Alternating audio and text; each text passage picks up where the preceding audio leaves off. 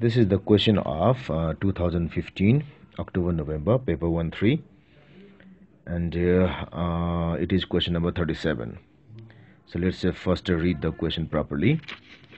So the question reads like this. A network of resistors each of resistance 1 ohm is shown like this. The current passing through the n resistor.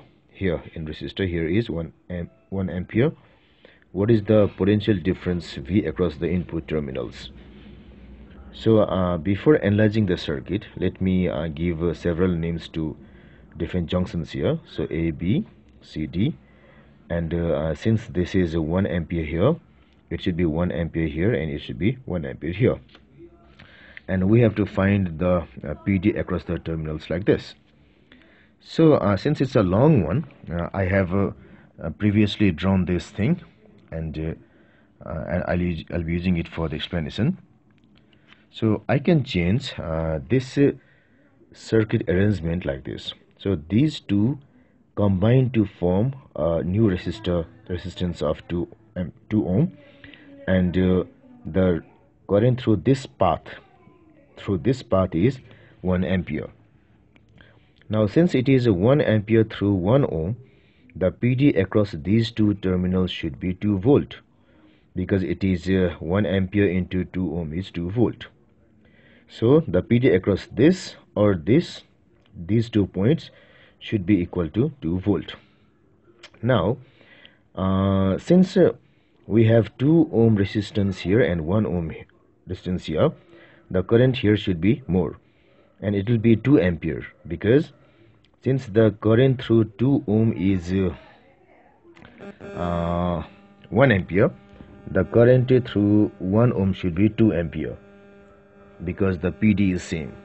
So now we uh, arrange these two in a single uh, form here.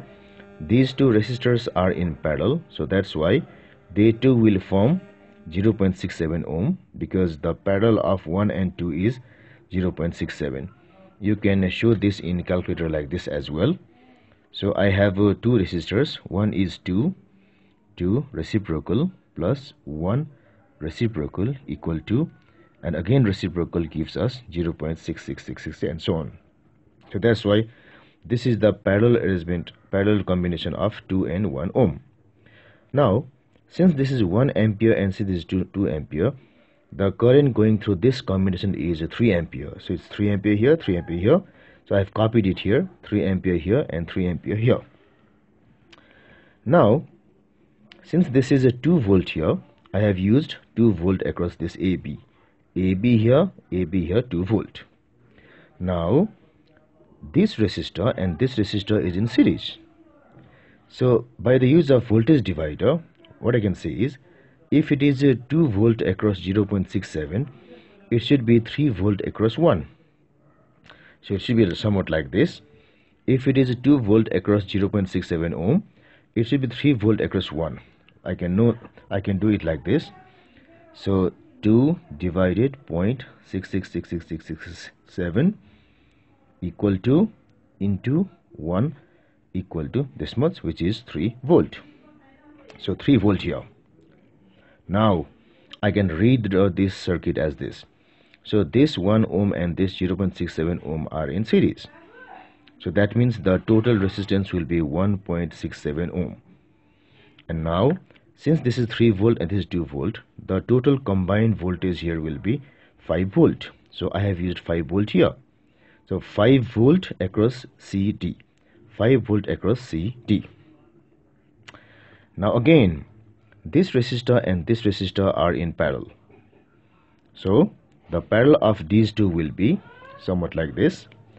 So the parallel of 1.67 and 1 so 1.666667 reciprocal plus 1 reciprocal equal to and this reciprocal equal to this much. So it is 0.625 ohm. So we have 0.65 ohm here and we have 5 volt here.